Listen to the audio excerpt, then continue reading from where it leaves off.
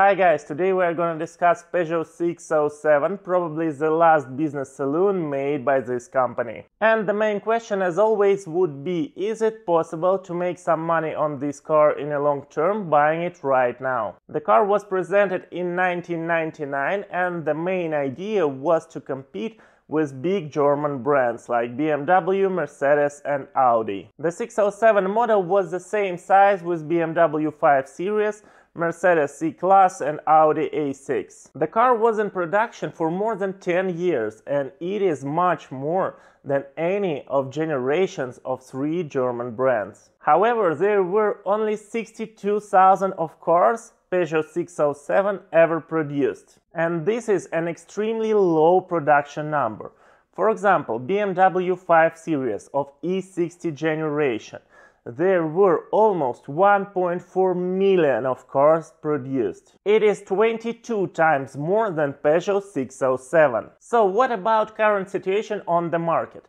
Nowadays you can buy Peugeot 607 in a very good condition for about 2 to 3000 dollars or euros depending on the market of course. And as for this model, I'm really not sure is it going to become a classic and increase in price like with other cars that we discussed earlier on this channel. There are some arguments for this car.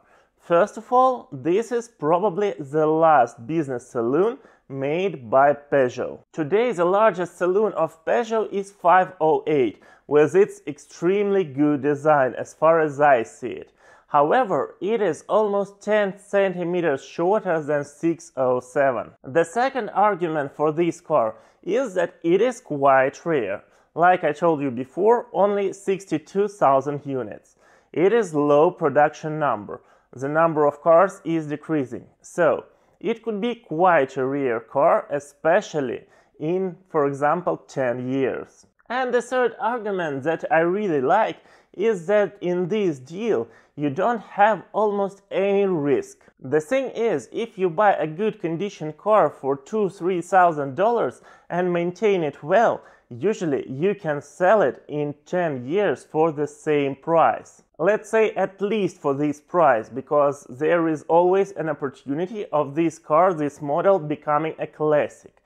Now let's talk about arguments against this. There are almost no options of powerful engines in this model. You have a choice from three diesel engines and two gasoline engines. One is 2.2 straight 4 and one V6 3 liter engine. However, even with the most powerful V6 engine, the car is quite slow. To add more, there were no special technologies in this car at all the standard front-wheel drive, the standard comfortable suspension. For example, in Citroens you can get a hydroactive suspension and this is a big point and there are a lot of fans of this type of suspension. And to end up with arguments against this model becoming classic, I would say that it has a very strange bio design. Of course, it all depends on your preferences and tastes.